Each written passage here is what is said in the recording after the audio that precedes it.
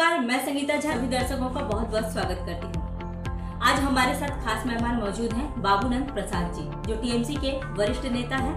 उनका जीवन काफ़ी संघर्षमय रहा।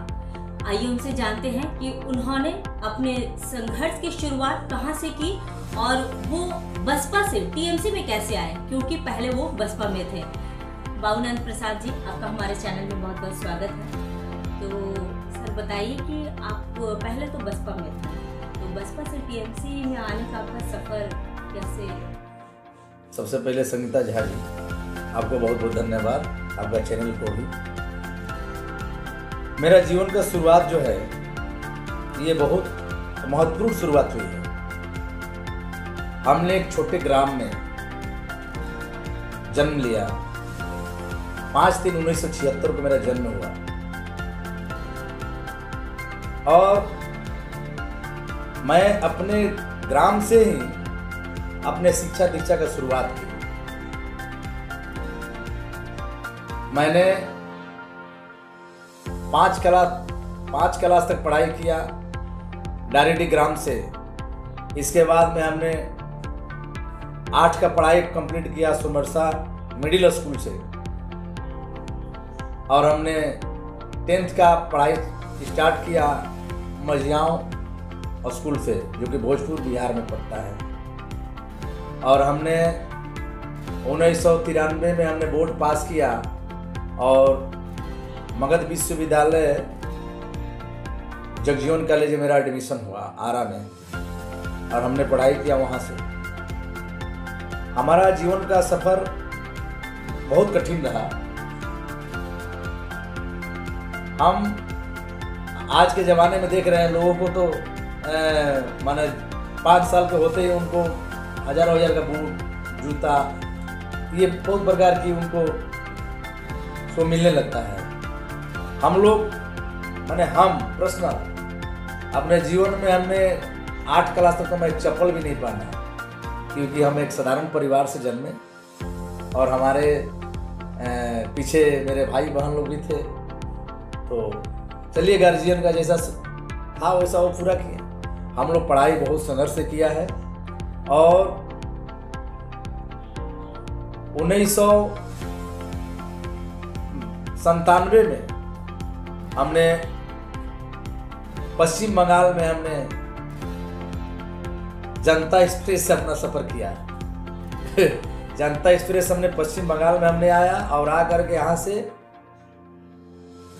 हिंदुस्तान गिलास फैक्ट्री जो कि रिसड़ा में पड़ता है हुगली में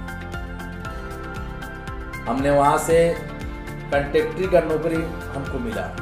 ये कृषक से आपका जो व्यवसाय बनने तक का जो सफ़र है ये आपने कैसे पूरा किया? अभी जैसा कि सुनने में आता है कि आप पहले कृषक थे बहुत छोटे से एक कृषक से आप इतने बड़े व्यवसायी बने हैं आपका काफ़ी अच्छा मतलब काम भी चलता है लगातार। तो ये सफ़र आपका कैसा रहा? देखिए हमने कंटेक्टी से नौकरी चालू किया, मैं आपके मुद्दे पर आ रहा हूँ। और हम लोग को बहुत कम पैसा सैलरी था। कितना था? नौ सौ, साढ़े नौ सौ हम लोग सैलरी में हम लोग काम किया। इसके बाद में दो चार साल बाद हमने फट्टी घोष एक यूनियन का प्रेसिडेंट थे, जो कि उनको लोग जानते हैं। मैं उनका हिंदुस्तान गिलास का हमने यूनियन का सेक्रेटरी हमको चुनाव हुआ, हमने चुने गए। इसके बाद में 2009 में 2009 में हमने मार्च 2009 मार्च 28 तारीख को हमने गिलास पार्टी से अपना नाता तोड़ लिया और हमने रिजाइन लेटर दे दिया। क्योंकि हमने वर्कर के लिए बहुत लड़ा, बहुत कुछ किया, किंतु हमें कुछ असुविधा के कारण हमने रिजाइन भी मार दिया अपनी नौकरी से। और हमने अपने व्यवसाय में आ गया। पहले हमने अपना बिज़नेस चालू किया। बहुत छोटे माने पूंजी से। दस बीस पचास हज़ार तक अपना बिज़नेस चालू किया। और हमारे पास एक टूटी हुई साइकिल रहा करती थी। जिसे हम घूरते थे। और मेरा बिज़नेस बढ़िया चला। और हम 2014 से बिज़नेस स्टार्ट किया और बिज़नेस हमने हिट किया। जो भी है बिज़नेस मेरा छोटा बड़ा जो भी है। अ, मेरा ठीक है। पहले से मैं नौकरी छोड़ के मैं खुश हूँ। अपने बिज़नेस से भी खुश हूँ।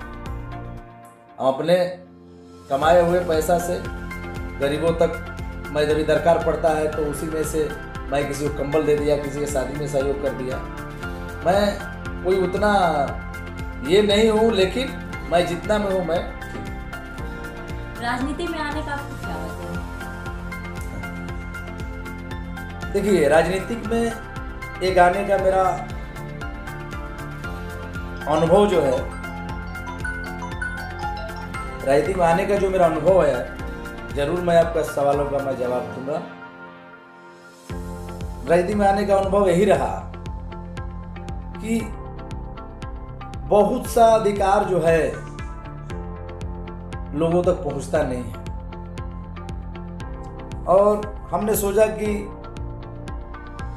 चले राजनीतिक में, क्योंकि हम तो यूनियन का राजनीति किया, बाहरी राजनीतिक में हमने दखल दिया।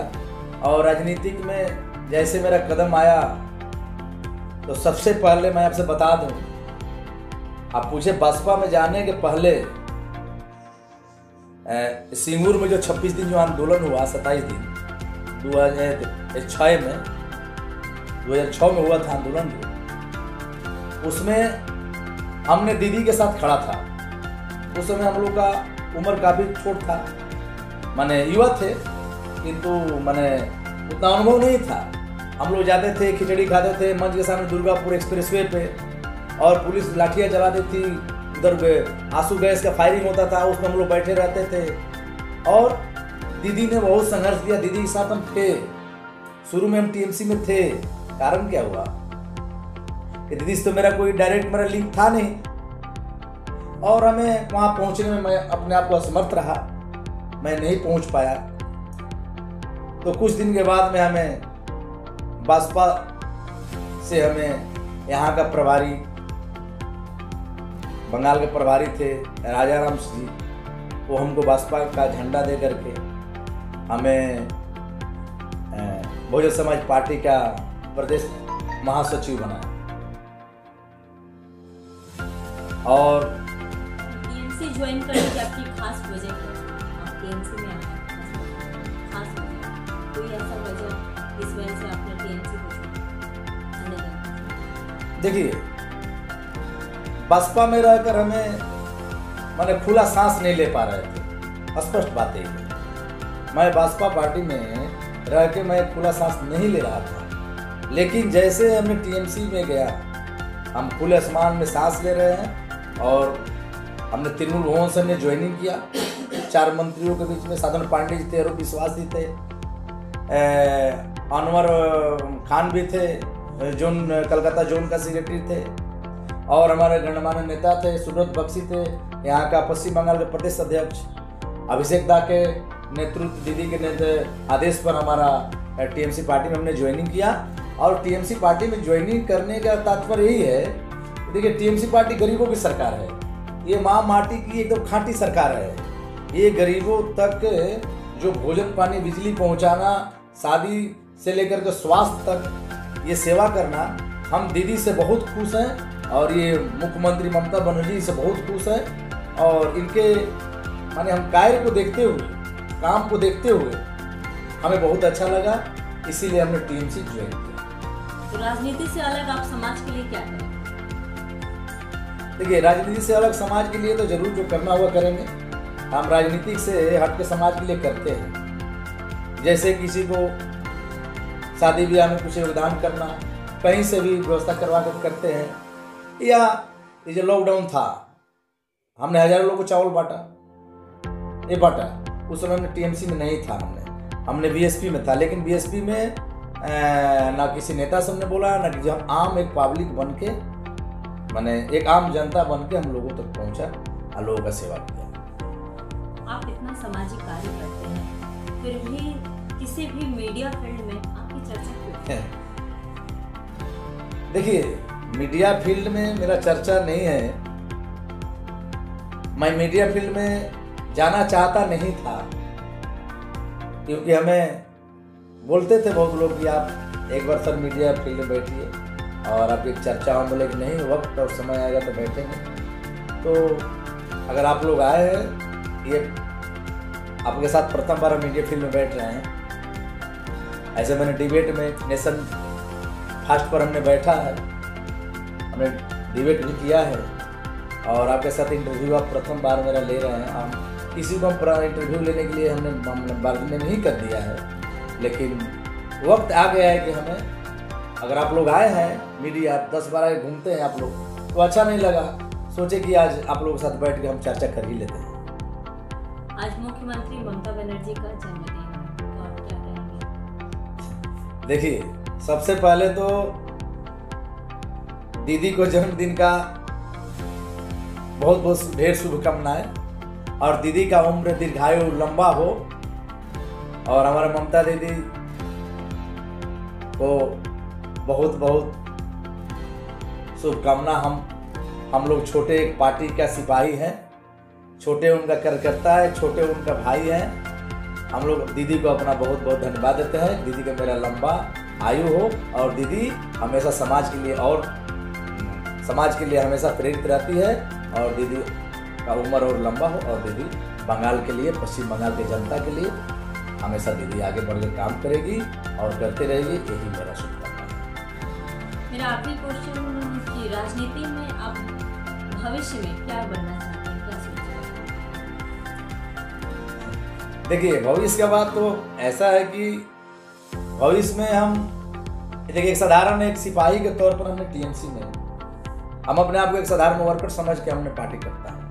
मैं अपने आप को कोई बड़ा लीडर नहीं समझता कि दीदी का नेतृत्व में हम लोग काम करते हैं और दीदी का जो आशीर्वाद होगा पार्टी का जो निर्णय होगा, उसको माथा नीचे करके हम उसको स्वीकार करेंगे। और आगे फिर देखिए क्या होता है तो वक्त और समय के हिसाब से चलेगा। तो आपने सुना हमारे साथ मौजूद थे हमारे खास मेहमान बाबूनंद प्रसाद जी। उन्होंने कहा कि वो हमारे मुख्यमंत्री ममता बनर्जी के साथ रहते हुए आगे बढ़ना चाहते हैं और भविष्य में राजनीति में एक अच्छा जगह बनाना चाहते हैं। और साथ ही उन्होंने बहुत सारे सामाजिक कार्य भी किए हैं, जिसको वो अभी तक इंडिया के द्वारा कभी लाने का कोशिश नहीं की लेकिन आज उन्हें ये मौका मिला है और उन्होंने हमें भी मौका दिया है कि हम उनका इंटरव्यू लें और आप सभी के समक्ष उनके जो भी कार्य है, उसको सामने लाए। कैमरा पर्सन सूरज मिश्रा के साथ, मैं संगीता झा।